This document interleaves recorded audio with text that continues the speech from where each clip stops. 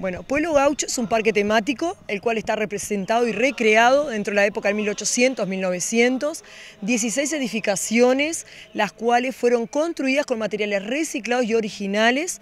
Acá en Pueblo Gaucho estamos representando los 19 departamentos de nuestro Uruguay. Se inauguró el 25 de, de enero del 2020, lo construyó la Intendencia de Maldonado en el periodo 2018-2019, nuestro intendente actual, Enrique Antía.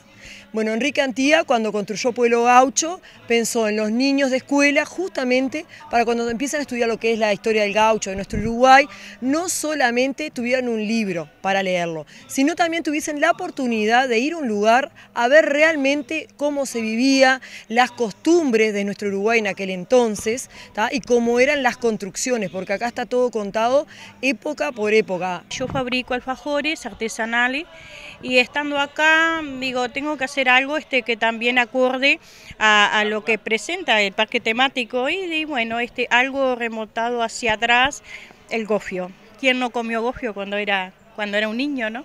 Hay gente que, que según ellos sí probaron de la abuela, pero como que nunca no, no lo han probado. Entonces lo prueban y cuando lo están probando, dice, y empiezan a contar anécdotas, historia de lo que vivieron, de cuando eran niños, de, su infancia. Entonces, este, aparte de ser un alfajor, es, es como una emoción, una nostalgia.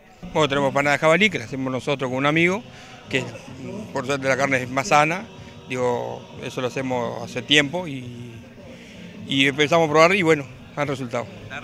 llama la atención en el público. llama la atención el público, porque una, una panada que no, no, sale lo normal, siempre tenemos jamón y queso, de verdura, entonces es una, una panada más, eh, más tradicional me parece. Entonces para acá me parece que está bueno.